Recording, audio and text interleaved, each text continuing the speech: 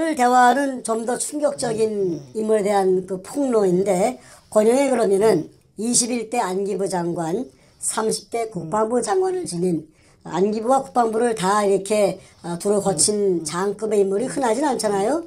이런 인물이 금독을 대한 제보를 받았는데 그걸로 나라고 한듯 쓰지 않고 오히려 문재인에게 딜을 넣어서 속- 속된 말로 빨대를 꽂아서 이권을 취한 그런 더러운 일을 한 걸로 좀 파악이 됩니다. 충격적인 얘기인데 한번 말씀 들어보면 제가 아, 질문도 좀 던지겠습니다. 말씀 들어보겠습니다. 예, 예. 어, 제가 그 2013년 어, 3월 28일 날 어, 중국에서 그 방랑생활 도망가가지고 킬라를 붙이가 죽이려고 하니까 도굴단들이 그래서 18개월 방랑자 신세를 마치고 박근혜 대통령이 당선되었기 때문에 제가 그 귀국을 했습니다. 그래가지고 그 당산역 근처에서 그 제 후배를 하나 만났는데 저를 도와주는 후배라 후배가 달고 나온 여자가 한 사람 있는데 그 여자가 북한에서 온 탈북자였습니다. 그리고 그 여자가 특이하게도 어 39호실이라는데 그어한 20년 이상을 근무했대요. 그래 39호실이 뭐 하는 데냐 했더니 어, 아마 그 외화를 그 벌여가지고 그 통치 자금을 마련하는 그 최고 통치권자의 통치 자금을 마련하는 그런 부서라고 합디다.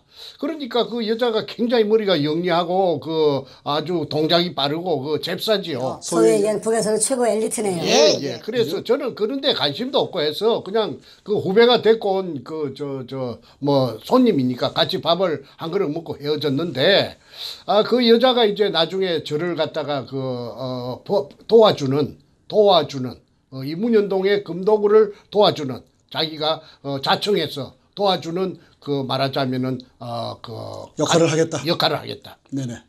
어떻게 도와주겠느냐 하니까 아, 아 박근혜 대통령에게 그 알려가지고 이 박근혜 대통령이 아마 모르고 있는 것 같은데 자기가 그 박근혜 대통령 앞으로 자기 이름으로서 그 어, 등기 우편을 보내 가지고 이렇게 국가적으로 이거는 하지 않으면은 이게 우리 2만 아, 3천 탈북자들이 바로 그냥 그 뭔가 저게 대통령이 되고 나면은 어, 문재인이가 대통령이 되면은 큰 배를 가지고 그냥 다 싣고 그냥 김정은이한테 갔다가 강제로 갔다가 북송시킬 그런 위인이다. 20조를 물론 그 저 정옥자 교수 20조를 다 알고 하는 말입니다.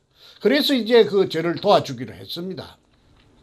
그러던 어느 날 선생님, 선생님 그 장관을 하고 두 번씩이나 하고 그 다음에 대단한 사람이 그 한 사람 있지요. 그 누군데? 했더니 어, 건영애를 덜미깁디다. 그래서 내가 아, 잘 알지. 아, 내가 그분은 나를 몰라도 나는 그분을 어, 드- 이름을 들었기 때문에 잘 알지. 어 그런데 그 왜 그래 하니까 아 그분이 그 우파고 또 그 박근혜 에, 대통령 어, 편이니까 그분은 믿을 수가 있으니까 그분을 내가 만나게 할 테니까 좀 만나 보시겠습니까? 아이 그게야 그런데 그분을 어떻게 그 당신이 북한에서 온 사람이 그 만나게 해줄 수 있느냐 했더니 내가 그분하고는 그 아주 어 그 긴밀한 어, 사이기 때문에 만나게 해줄 수 있습니다. 그래서 코리아나 어느 날 그때가 2013년 한번 연말 정도 될, 된다고 기억이 납니다. 어, 코리아나 호텔에 그 커피숍 2층에 올라가는데 그 오른쪽에 그 어 그 어 그저 은밀한 대화를 나누는 그런 큰 홀이 있어요. 거기서 이제 그 만났습니다. 그 근 장관을. 권영희 장관. 예, 예. 네네. 자기 부인하고 같이 왔더라고요. 그래서 이제 인사를 하고 나서 아이 그리 내가 듣자니까 그 부산 문현동에 뭐지 의뢰 공장이 어떻고 어 그 저 금도굴이 어떻고 하는데 그 어떻게 된 거요? 저한테 얘기를 좀 해줄 수가 있나요? 그래서 아 내가 그 이야기를 하려고 나왔습니다. 해서 한 세 시간 동안 어 얘기를 어 쭉 했더니 숨도 안 쉬고 가 숨죽여서 다 듣고 나더니 하는 말이 야 내가 다 듣고 나니까 이제 내 눈앞에 가려졌던 안개처럼 짙은 안개가 눈앞에 에, 짙게 드리워져 있었는데 이제 그 짙은 안개가 싹 없어지고 저 멀리까지 어, 잘 보입니다. 아, 정 작가의 이야기를 들으니까 이제 모든 것이 전부 다 이해가 됩니다. 그 모든 것이 무엇입니까? 했더니 내가 그 21대 에, 국정 안기부 장관을 하고 그 다음에 내가 30대 국방부 장관을 장관 했는데. 안기 부장이 장관 안, 아닌가? 안기 부장을 하고 예, 예, 안기 부장. 어, 30대 국방부 장관을 해서 내가 그 어, 정보가 아, 대한민국 안에서는 비교적 어, 몇 손가락 안에 들어가기 정도로 내가 워낙에 잘 아는 사람인데 아요 최근에 근래에 들어서 이상한 이야기들이 이 많이 들었다 서너 사람으로부터서 그 얘기가 뭐냐면 이상한 얘기가 뭐냐면은 그 문재인이라는 그 사람에게 어디서 돈이 났는지 돈이 엄청난 돈이 그 사람에게 있다고 그런 어 말들을 한 서너 각각 다른 서너 군데로부터 들었는데 자기가 생각할 때 이해가 되지 않았다. 너무나 액수가 크기 때문에 그래서 어, 그, 어떻게 이상하다. 그게 무슨 말일까. 항상 그, 어, 어, 가슴에, 에, 쪽 납등이 매단 것처럼, 어, 그걸 하두를 갖다가, 하두가 돼갖고, 곱씹고, 곱씹고 했는데, 확인해 볼 길도 없고, 야, 그게 뭔가 하다가 오늘 이제 정 작가를 만나가지고, 얘기를 전모를 다 듣고 나니까, 이제 그래서 그 안개가, 어, 싹 없어지고, 저 멀리까지 보이는데 이해가 됐다, 이 말이지. 그러면서 하는 말이 자기 소개를 하더라고. 내가 그 저 육군 사관학교 내 기억입니다. 17회라 하더라고. 17회. 아 그리고 어 그 나이는 1937년생이라 하더라고. 그 고향은 경주 사람이고 중학교를 은양중학교 경남 은양 울산 옆에 은양중학을 나왔다 하더라고. 그리고 자기 아버지가 그 중학교 어 선생님을 하셨대요. 그리고 교육자의 어, 어 자제인데 그래 이제 그 어, 고등학교를 시골에서 졸업하고 그 다음에 육군 사관학교 17기로 입고해서 어, 육군 중장 3스타 때 그 다음에 그 저 뭐이가 그 국방부 차관이 되었고 어, 발탁 김영삼이 들어서자 그 다음에 국방부 차관에서 승진해가지고 국방부 장관 그 다음에 또 안기부장 아 이렇게 됐는데 자기가 국방부 장관 할 때는 자기 말입니다.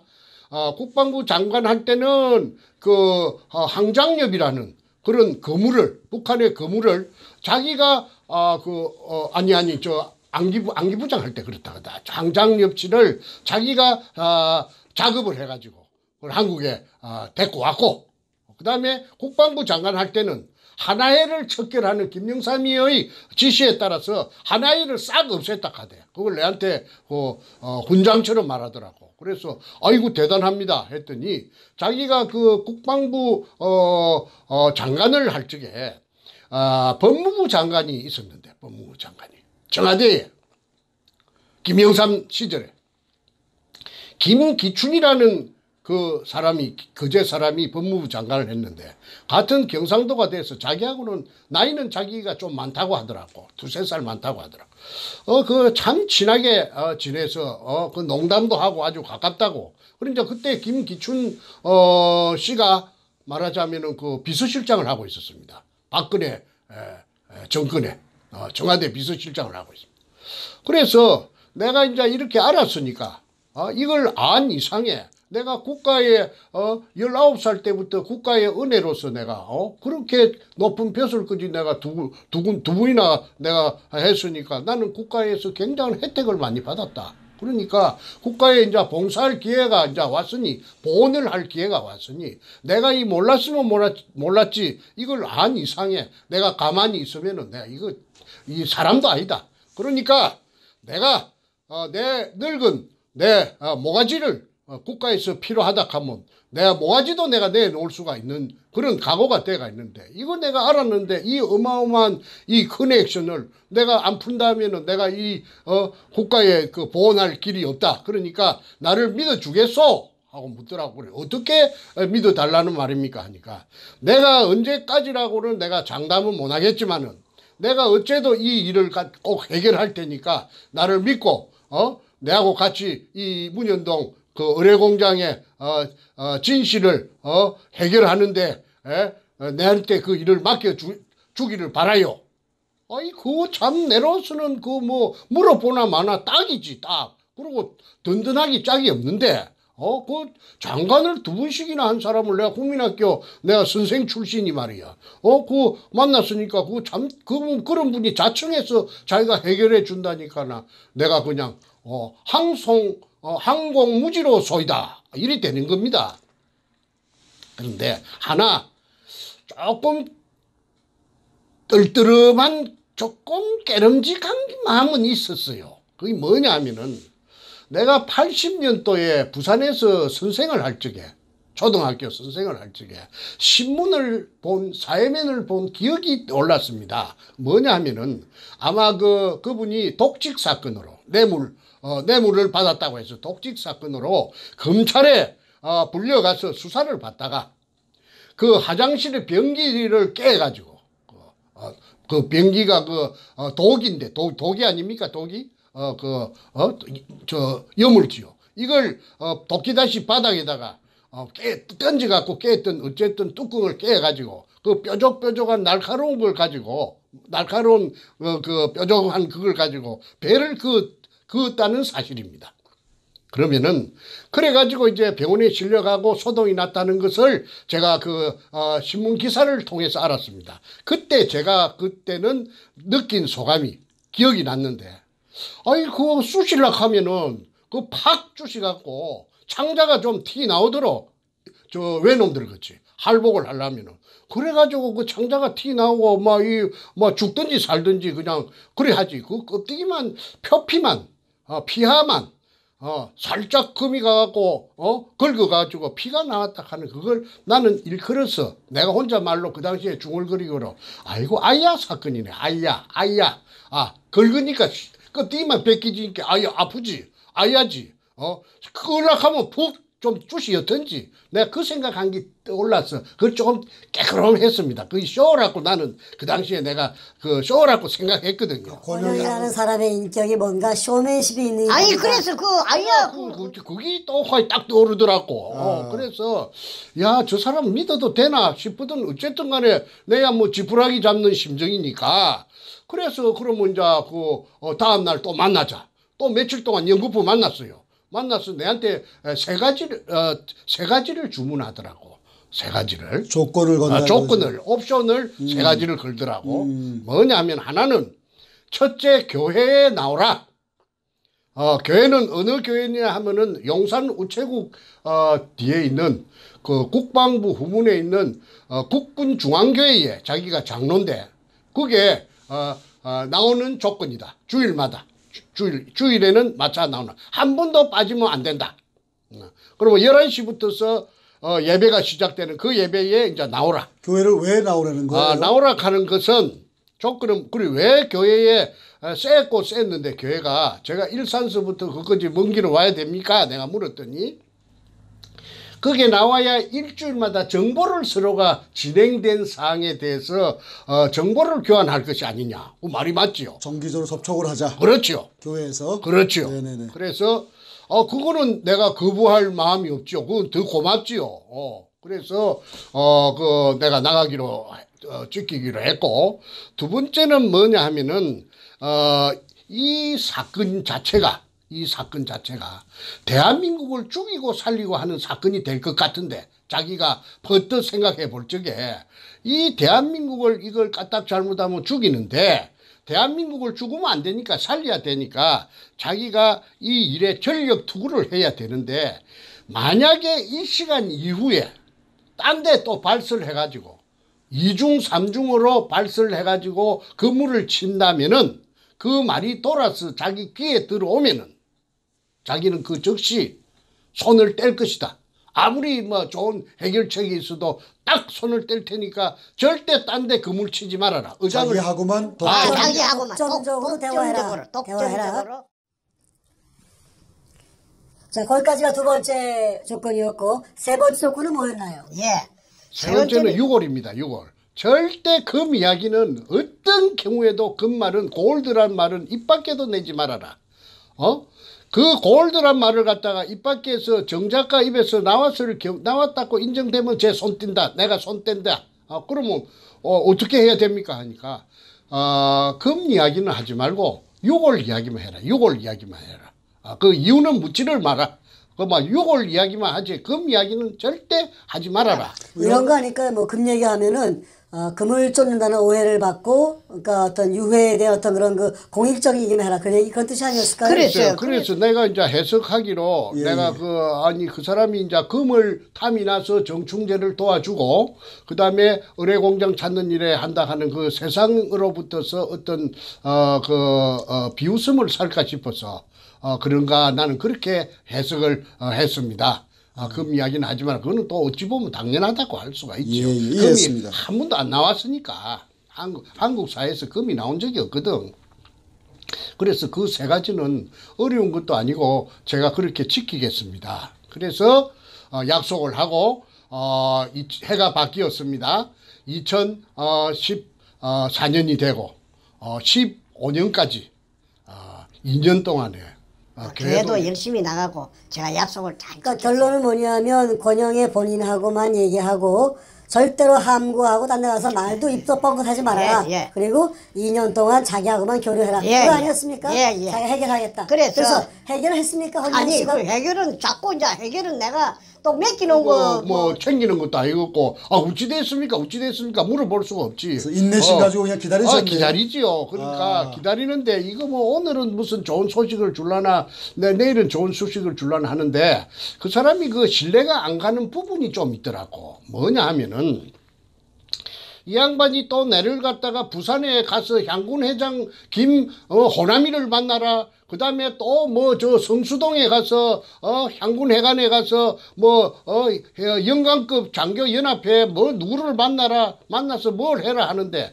그 가면은 그 사람들이 좀그 건장관이 시킨 그 말을 하면은 좀 시덥지 않게 좀 별로 신통치 않게 별로 그래서 이거 내가 한 서너 번 땡기다 보니까 내가 또 오이 놀림방으로 말이지 시간 글대우로 땡기는 것 같지 그 나를 뺑뺑이를 돌리는 거 훈련 어 훈련 시키는 것 같지 그런 기분이 들더라고. 어 그래서 이거 무엇이 이게 옳은 일인가 나쁜 그 구전 일인가? 내가 부산까지도 갈 때 내가 무슨 어디 월급 받는 사람도 아니고 내가 어디 뭐 연금이 나오는 사람도 아니고 어 전부 생돈을 가지고 땡기려고 할게. 죽을 지경인데 어이 동쪽으로 가라 서쪽으로 가라 하고 또 심지어는 한 번씩 내를 불러내는데 그 남산 케이블카 밑에 건국회라는 데가 있어요. 비석이 있어요.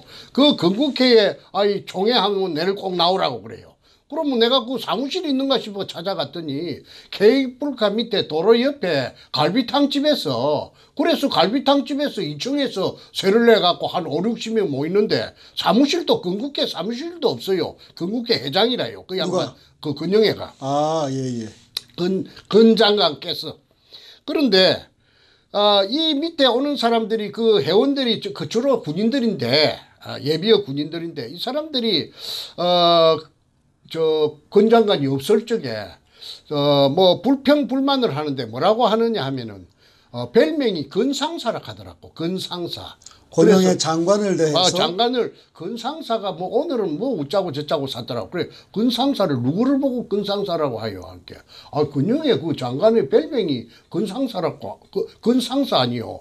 그래 아 상사라 하면은 그 어 그 장교하고 소위하고 그 병장하고 사이에 저 내무반에 가면 중대 스님 스님하사 그런 그 특무상사 어 위에 그 어, 작대기 밑에 네 개에다가 권상사라 부르는 이유가 있겠네요. 아, 왜 그래, 군상사, 부릅니까? 왜 군상사라고 그 계급을, 몇 계급을 강등시켜 갖고 군상사가 뭐요? 예, 예. 했더니 예. 좁쌀 영감이라고 이게 막 시시콜콜하게 막 오만 것, 때만 것다 챙기고 다 아. 그거 하고 그 다음에 그 인색하기로 말하자면 구두쇠이기로 이로 말할 수가 없다 이거야. 그러니까 권영애 씨가 없을 때 흉을 그렇게 받고 아, 그래서 사람들이 내가 아 근상사락 하는 그걸 내가 어 내가 글을 쓰는 사람인데 충분히 내가 그 근상사 왜 근상사락 하는지 내가 어필할 수가 있죠. 그래서 내가 하나 회의감이 드는 것이 근상사락 하는 별명으로 자기네들 그 군대 후배들이 그 놀리는 그런 어, 별명을 지을 정도 되면은 저 사람이 어떻게 이렇게 큰 이런 어마어마한 이런 일을 해결을 과연 해낼까 하는 그런 어, 의구심이 들었어요. 그런데 아니나 다를까.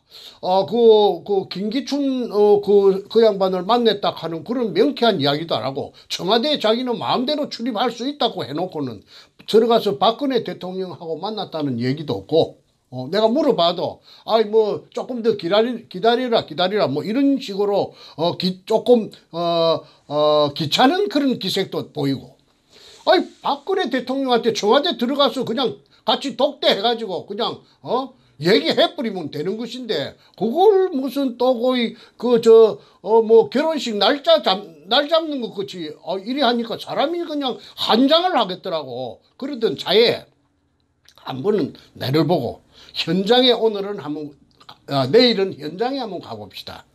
어, 부산의 현장에 어떻게 갑니까? 하니까 어, 자신의 그 동기생 친구 중에 647기 중에 경남 김 어, 진해 출신의 1사단장 하던 김아무개 에, 소장이 있는데 그 양반이 1사장, 1사단장 할 적에, 어, 남친 땅굴에 대해서 통달로 해가지고 땅굴 찾는데, 그래갖고 이제 꼬쟁이, 새 꼬쟁이 두 개를 가지고 이 다우징이라 하나, 그걸 갖고 왔는데 백발백중이라 이거야. 아, 땅 밑에 그 탐사하는 거. 아, 탐사하는 거. 아. 어, 쇠꼬쟁이 두 개 갖고 예, 하는 예, 거. 다우징이라고 그러죠. 어, 다우징 그거 막 백발백중으로 찾아낸다 이거야. 그 전문가다 그분. 아, 그리고 그 속에 무슨 금 같은 거 그런 금속이 있어도 다 그 반응을 다 체크할 수가 있으니까 자기 저 그 건장관께서는 자기 친구 그 아무개 소장님을 김 소장님을 어 초청할 것이고 어 그 다음에 내도 또 한 사람을 그 어 정작가도 한 사람을 어 금을 어, 금을 찾고 그 다음에 굴을 굴을 찾을 수 있는 어, 그런 사람이 있으면 한 사람 대라고 했어. 그리고 나는 이제 그 강원도 원주에 그 윤아무개라고 그 어, 필리핀에서 금 찾아서 인생을 바친 금 찾아 다니면서 인생을 바친 윤아무개라고 내하고 나이 같은 사람이 있어요. 내하고 친구가 됐는데 그래서 어, 윤아무개를 갖다가 이제 불러 올렸습니다.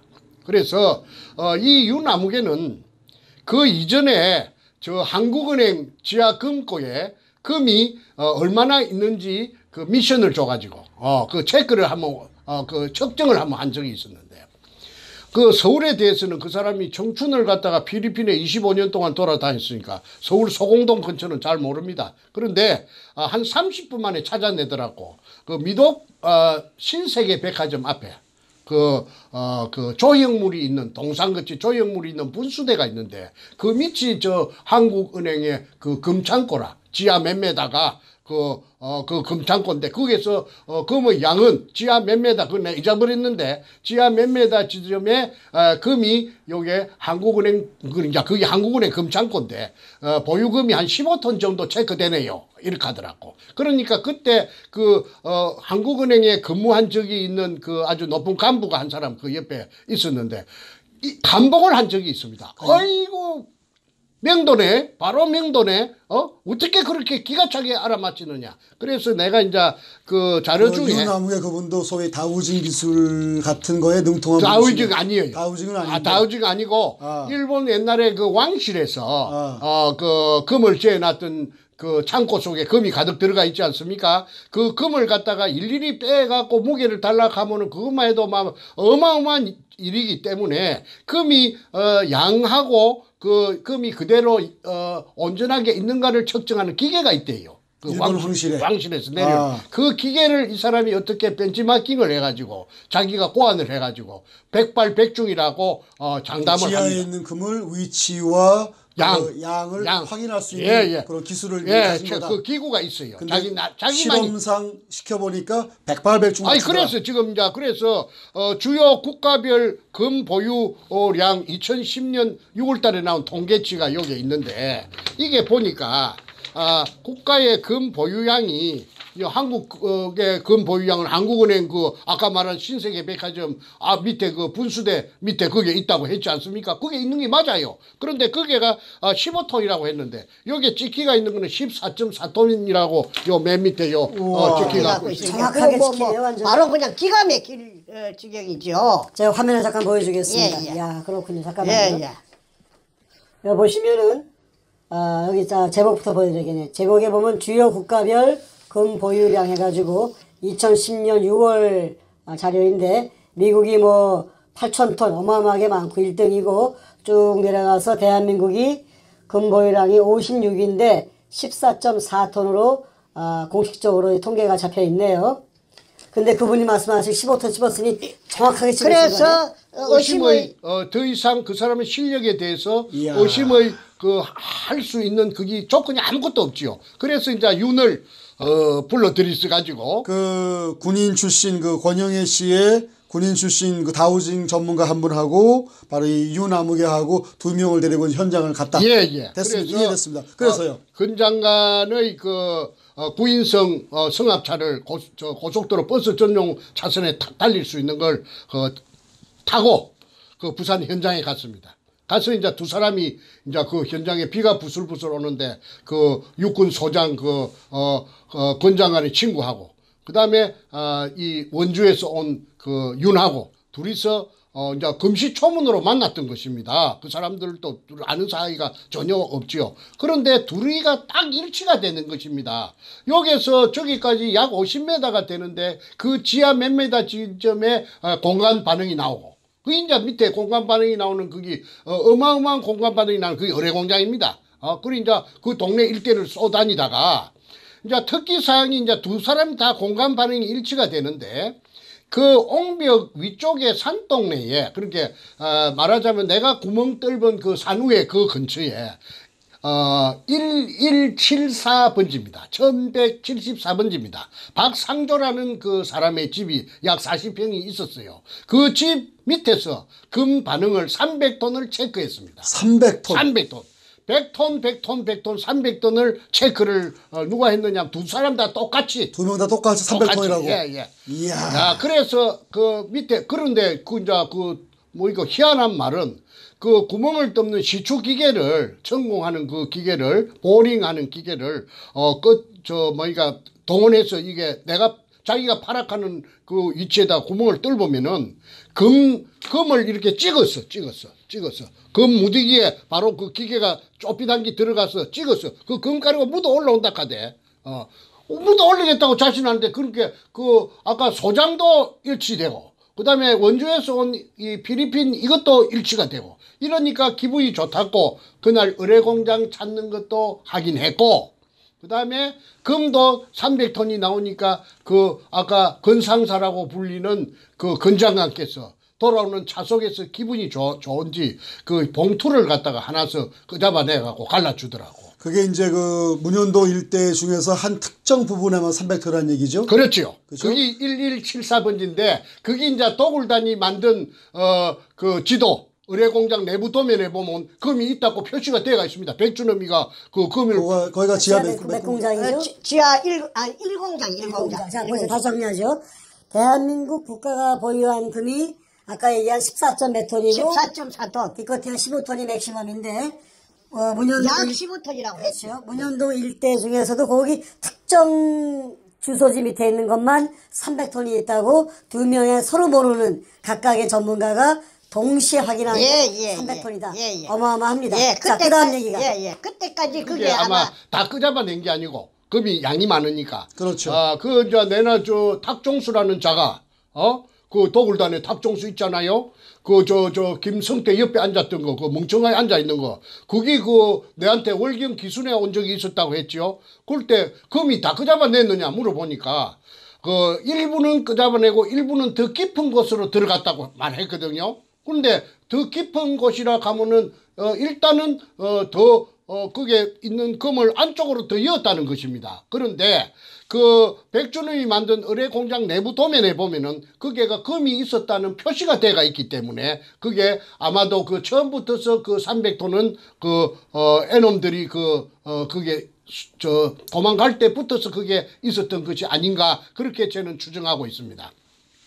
자, 그래서 이제 그 군영을 떨벌라고 혈안이 됐던 것입니다. 그런 때마다 자꾸 그 저 동네 주민들이 방해를 하고 이 막 온갖 어, 세력들이 그 방해를 하기 때문에 기계가 뚫을라고 내려갔다가도 어, 서울에서부터 내려갔다가도 어, 님비 현상으로 인해서 어, 박구에서 올라온 그 헛돈을 많이 썼습니다. 자, 그런데 이제 이 어, 근장관께서 아까 이제 그 어, 그 입이 찢어질 듯이 해가지고 그 봉투를 하나씩 주는데 그 내가 그 올라와서 내가 그 찾아본 게는 5만 원짜리 두 개 들었대. 누구한테 10만 봉투를 줘요? 아이 그저 근장관이 그 얼마나 어, 내가 그 봉투 주는 거 처음 봤어요. 어 그런데 그 10만 원 들었는데 그건 저 뭐이가 윤 윤은 얼마 들었는 거 내가 물어보지 않았어요. 왜 그러냐 물어보면 내 자신이 너무나 그 비참할 것 같아서 그 내가 자존심도 있고 해서 내가 그냥 입 닫고 말았는데 솔직히 말해서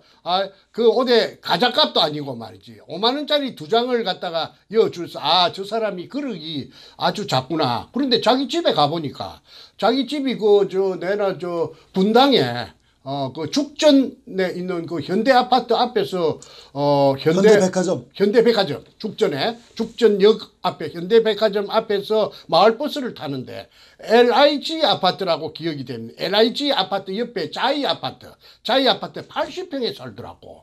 그 80평에 그거 늘은데 아이 어떻게 이 집이 운동장 같은 집에 삽니까 하니까 그 자기가 그 평생에 책이라든지 무슨 이런 물건 같은 걸 어, 버리기도 아깝고 해서 어, 식구가 며칠 되지 않지만은 이런 넓은데 아니면 안 된다고 그랬어. 어, 뭐 집은 대걸 같은 집에 살더라고. 잘 사네요, 소위 얘기해서. 80평짜리 아파트 살기가 쉽지 않죠. 청소만 하려고 해도 청소하는 전담 요원이 한 사람 있어야 됩니다.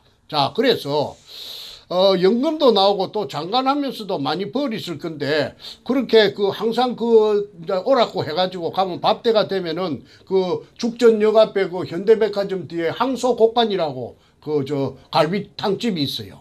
그 어, 불고기도 팔고 어, 불고기는 내가 한 번도 안 얻어먹어봤고 그저 갈비탕 5천 원짜리 항상 그겁니다. 그래서 막 그거라도 내가 아그 나는 5천 원짜리 그런 거는 내가 시들해서 잘 안 사 먹는데 그것을 내가 5천 원짜리를 질리도록 먹은 어, 그 기억이 납니다. 어쨌든 그분을 헐뜯으려고 헐뜯으려고 나온 것이 아니고 항상 사이드로 뺑뺑 돌더라고 사이드로 문현도 현장에 처음 간 거는 그 한 번밖에 없고 그리고 내가 저 그 다음에 이제 그 KBS에서 PD 어 양 양성모라고 기억이 됩니다. 어, 키가 좀 어, 후리하이 큰 길. 이걸 이, 뭐 어떻게 해가지고 양성모죠. 어, 양성모. 양성모. 어, PD를, 어, 이 젊은 사람을 갖다가 어떻게 해가지고, 어, 이 사람 됐고, 저 중국의 해남도에, 어, 그, 어, 뭐, 가고, 막, 그 갔다 오고, 막, 프로를 찍고 그랬었더라고. 그래서, 아, 왜 해남도를 부산 문현동을 놔주고. 해난도면 그 하이난성. 어, 하이난섬. 하이난성. 아, 해남섬에 삼 알았는데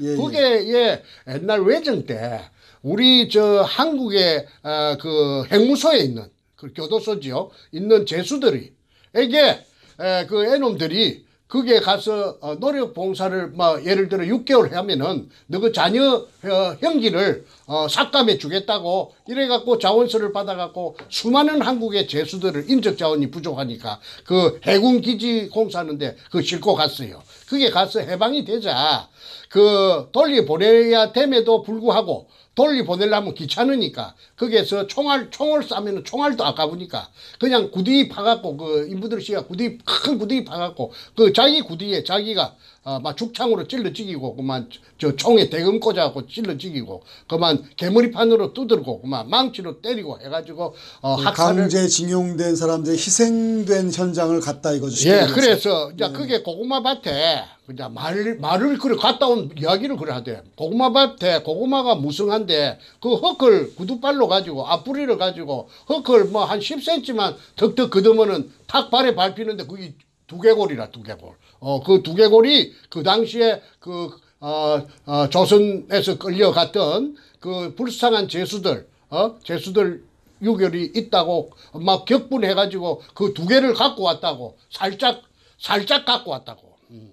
자, 아 그래서 항상 그렇게 내하고 그 문현동하고 무슨 그 해남도하고 상관이 있으며 요걸 하고 그 요게 요걸 청계가 어, 지금 규명을 해야 됐긴데 해남도 요거를 갖다가 그 어, 물론 그것도 중요한데 자꾸 그걸 바깥으로 돌더라고. 자 잠깐만 정리 한번. 하겠습니다. 지금까지 말씀을 쭉 들어보면은 권영애 씨한테 모든 정보를 주었고 그분도 자신하고만 독점적으로 이 일을 추진하자고 얘기했고 그런데 그 한 2년 3년 터울 시간 동안에 아무것도 한 게 없다. 단 현장에 가서 300톤 있는 거 확인까지만 해도 그렇지, 너무. 좋아했고 그렇지. 그리고 뭐 중국 가서 뭐 그 피해 당한 저 징용자들 현장만 갔다 오는 걸로 하고 이 사건을 가지고 김기춘 당시 실장이나 박 대통령에게 뭐 얘기했다든 그런 것도 전혀 없이 그냥 시간만 허비한 거네. 그렇지. 그렇지. 그래서 그러던 차에 이거 무엇이 또 어, 자꾸 이제 만나는 빈도가 어, 그 조금씩 이제 어디 외국에 간다고 해가지고 또 몇 달씩 갔다 오고 하다 보니까 아 핫바지 방구 세대기 조금씩 조금씩 희미해집니다. 그러던 차에 에, 그 2015년 연말입니다. 아, 그 제가 아, 기가 막힌 또 어떤 사건이 발생합니다. 그거는 어, 제가 오형제 중에 장남인데 제 그 전부 남자만 아, 다섯인데 그 둘째하고 넷째 내 밑에 하고 넷째하고 어, 둘이서 그 도굴단에 따라갔던 것입니다. 아, 그 문현동 현장에 그런데 에, 그 어, 둘째 보고 여 이제 우리가 세월이 가니까 우리가 팽 당했다. 이용만 그때 그 어, 문현동 금도굴 현장에 서너 달 있었던 것은 제 저 도굴단한테 내가 이, 우리가 지금 와 생각하니까 쟤들이 막 어, 벤츠 S600을 타고 난리를 지고 부산에서 잘 살고 그냥 기족이 돼 가지고 그냥 번쩍번쩍한 차를 타고 다니는 거 부산 바닥이 좁으니까 알지요. 야 저거 어떻게 해야 되겠나. 그러자 정옥자 교수의 20조도 알게 되고 하니까 아 자, 내한테도 오지도 못하고 행지간끼리도 이간을 시키 놓으니까 어, 그래서 자기는 둘째하고 넷째가 상의하기를 우리가 이 세상에 알리자 그러면 어떻게 해야 되느냐면 문재인이 그 사무실이 사상에 있는데 국회의원 사무실이 거기에 들어가서 어, 사건을 하나 일으키자. 어, 그게 뭐냐면 그 문재인이 사무실의 신나통 사건입니다. 아 그래서 어, 두, 둘째는 간이 작아갖고 아이고 나는 무서워서 안 할래 하고 옹골어져삐고 빠져삐고 그러면 넷째는 젊었을 때 그 어릴 때 근투 선수니까 주먹이 세니까 어 그럼 내가 혼자 하겠다 해서 그 어 문재인이 그 어, 국회의원 사무실에 그 인질극을 신나통을 들고 가서 인질극을 벌렸던 그 사건이 언제였죠 시점이? 어, 2015년 12월 30일이라고 기억이 됩니다. 네네, 알겠습니다. 예, 예. 그래서 아, 그 그때 내한테 전화가 왔더라고. 어, 어, 이제 그날이 그날 막 뉴스에 어, 오전 10시부터서 밤 12시 자정까지 온 한국에 있는 공중파든지 종편이든지 무엇이든지 전부 방송국이라 하는 방송국은 전부 다 이것만 지급했습니다. 부산 문현동 이것만 다 정규 방송 저 중단하고 어 부산 문현동 아니 저 문현동이 아니고 사상에 그 문재인이 사무실에 그 신나통 인질그 이것만 계속해서 들었습니다. 그런데 12시 자정이 지나니까 약속이나 한 것처럼 딱 전부 다 올 수도 없대 있고 모든 방송이 모든 방송 아. 누가 조정했지요. 누가 조정을 어, 작용을 작동을 했죠. 그러네요. 그래서 이제 에, 그 그래서 그나마 그래도 어 사건이 벌어진 10시부터서 자정까지 어 14시간 동안 어 도배를 하듯이 온 한국에 모욕을 하듯이 했기 때문에 세상이 그때 문현동 금도굴이 최초로 알려지게 된 것입니다. 알겠습니다. 그 사람들이 믿든지 말든지 그거는 뭐 안 믿든지 믿든지 간에 알리지 최초로 알려진 겁니다. 자, 그때 내한테 뜻밖의 전화를 했더라고. 어, 근 장관이. 어, 그 정작가 동생이 맞소? 어, 내하고 좀 닮았는 모양이라. 그래서 아, 네 맞습니다 하니까 그걸로서 근 장관하고 저하고는 말하자면은 아, 사, 사연하라 종친 것입니다. 그 다음에 내가 전화 걸 이유도 없고 그 사람도 전화 안 오니까 끝난 거 아닙니까? 그런데 내 마음속에는 굉장히 괘씸하지요. 아이, 그거 뭐, 어, 정보만 쏙 빼갖고 가서 말이야, 어? 뭐, 핫바지, 어, 방구새 듣기 말이야. 그거 뭐 장난치는 것도 아니고, 그렇다고 내가 뭐, 어, 맡기는 거 달라 하는 식으로 어, 서로가 계약이 있었던 것도 아니고, 내가 항의할 수도 없고, 어. 그래서, 야, 자, 잠깐만. 제가 한번 좀 질문을 하나 할게요. 좀 납득이 안 가는 부분이 있는데, 어, 그렇게 2, 3년간 공을 들이고 권장관과 관계를 맺다가, 요번에 그, 그 동생분의 그 문재인 사무실 신나 사건이 벌어지자마자, 그러고 이제 관계를 끊었다 하셨는데, 왜 끊으신 거죠? 아니 그쪽에서 그 마무리를 해줘야 될 텐데 2년 3년 동안 횟수로 3년 동안 질질 끄고 사람을 갖다가 민방위 훈련시키는 것처럼 골탕을 먹여놓고는 아이 뭐 그 외국에 간다 뭐 어쩐다 해가지고 그냥 어 문현동하고는 뭐어 어, 별로 관심도 없고 하니까 아 저 틀렸구나. 내는 이미 고표를 쳤습니다. 어 그렇다고 해서 그 사람이 그 내하고 나이가 얼추 같다고 하면은 다그치기라도 할 텐데. 아니 그러지도 못하고 장관을 두 분이나 했으니까 어그 내가 저 항의도 할 수가 없고. 그러던 어 차에 아 내가 저 정보만 또 쏙 빼가지고 또 이용당했구나. 그러면 저 사람은 그, 그 정보를 갖고 어디에 쓸까? 어디에 썼을까? 내가 바보가 아니니까 생각해 봤지요. 어, 그거는 저는 그렇게 생각합니다.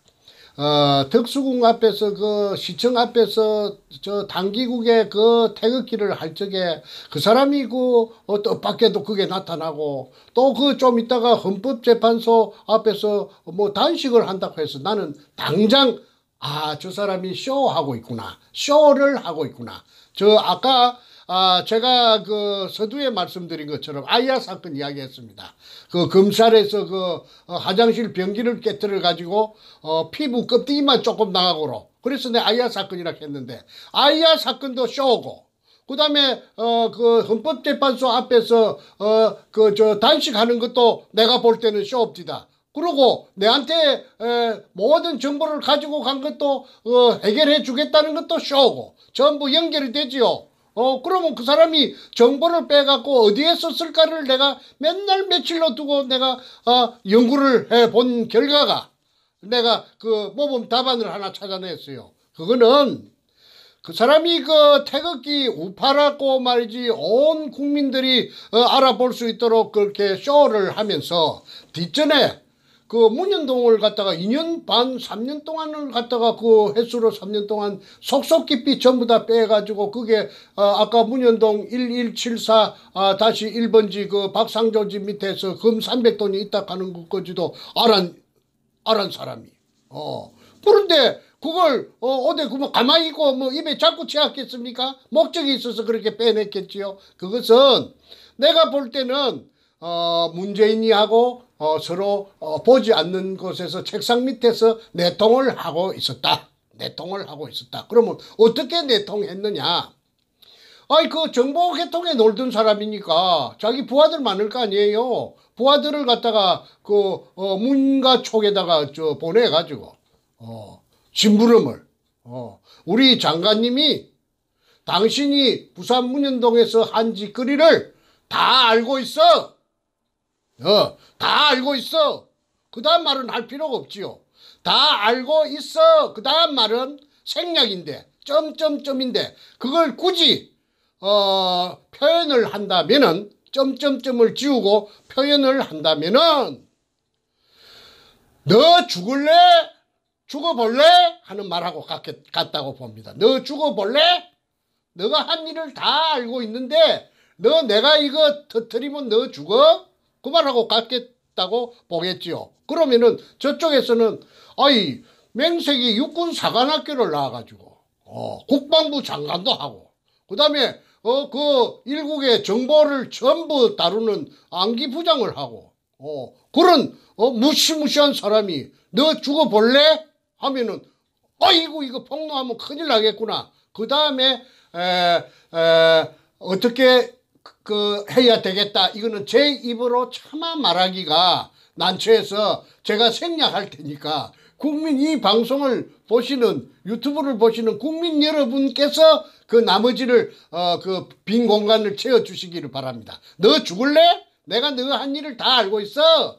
그 다음에는 그쪽에서 어 저 금도둑놈이 그 다음에 그 금도둑놈이 할 어 그 문 문재인이 어 그 청와대를 어 강제 저 찬탈해 갖고 점거하고 있는 주식회사 금 처리 주식회사 어, 도굴금 처리 주식회사 어, 대표이사 문재인이가 할 행동은 입을 막아야 될 거 아니에요 입을 입을 벌리겠다 하는데 어, 죽이겠다 하는데 그럼 입을 뭘 갖고 막겠습니까? 떡을 갖다가 발라야 될 거 아니에요 떡을 떡을 찹쌀떡을 하나 갖다가 입 안에 물이 나야 될 거 아닙니까? 그래서 그 찹쌀떡이 뭔가는 어, 여러분들이 에, 드- 방송 들으시는 음, 분들께서 국민이니까 판단하시고 그 다음에 제가 아, 그 헌법재판소 앞에서 그 내가 아, 전부 다 나를 찾아보시오. 내가 이 나이가 이리 노구해도 내가 국가와 민족을 이렇게 사랑하기 때문에 내가 이렇게 죽을 수도 있는 어, 단식을 이렇게 하고 있지 않소. 그 쇼고. 그 다음에 그 문현동에 대해서 박사학위 논문을 쓸 정도로 전부 다 알맹이를 쏙 빼갖고 갔으면 그걸 갖다가 그왜 어, 태극기 집회 때안 떠들었나 이 말이야.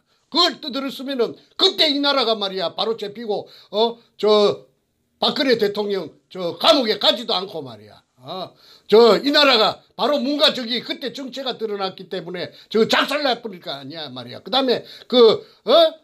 그 청와대 주사파들이 정교하지도 못하고 전부 다 맞아 죽었을 거 아니냐 이 말이야. 그런데 그때 입 쳐닫고 말이야. 어. 그 다음에 쇼만 하고 말이야. 그래서 내가 쇼라고 하는 거라. 어. 쇼의 달인이라고 지난 6월 12일 날, 2018년 6월 12일 날 미국에 어, 오기 직전에 그 인천공항에서 시간이 좀 남았어. 그것을 한 프로 찍었어요. 뭐라고 찍었느냐 면 종교 깡패라고 찍었어요. 종교 깡패라고, 어, 그, 어, 근영에. 그 다음에 또 하나 더 있어요. 어?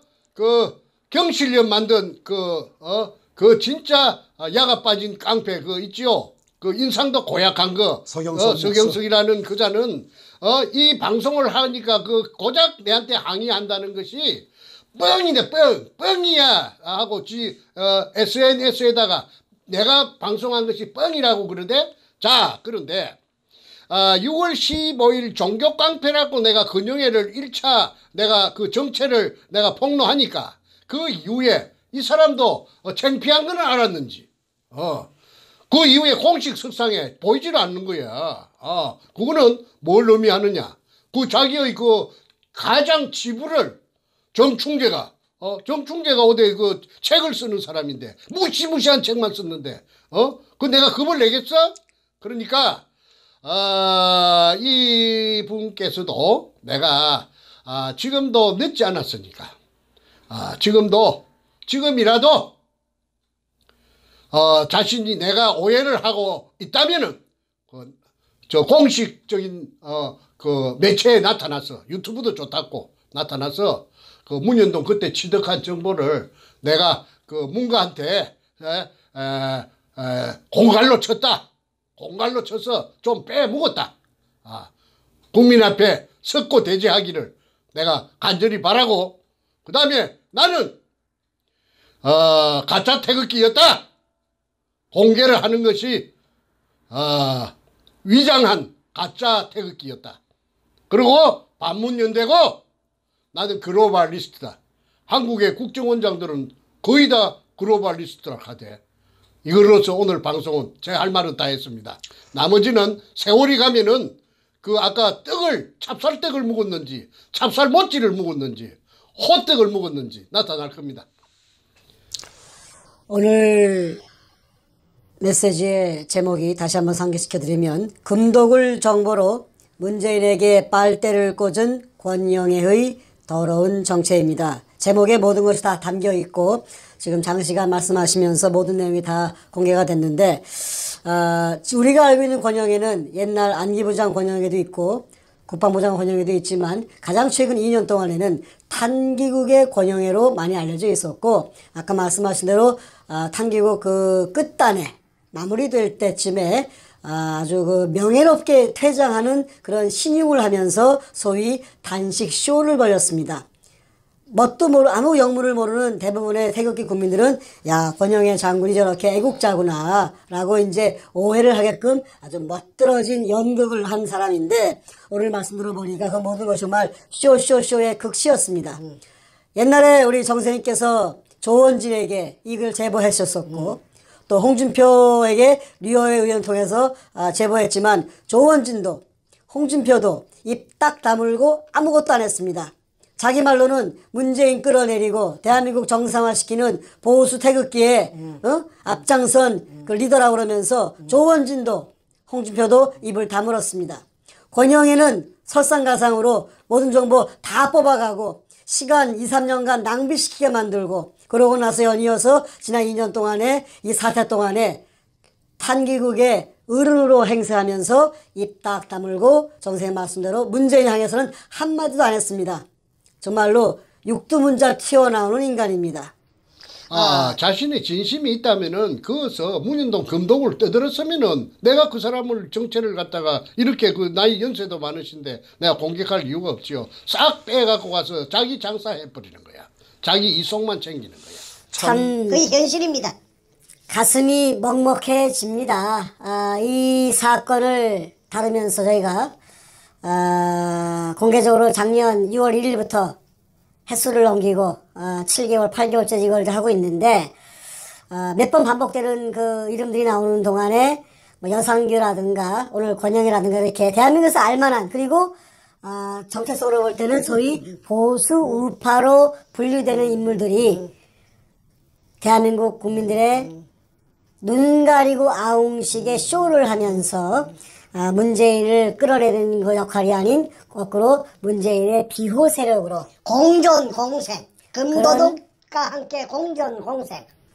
그런 그 국민들을 속이는 인물로서 계속해서 아, 활동을 해온 것을 보면서 정말로 경악을 금치 못합니다.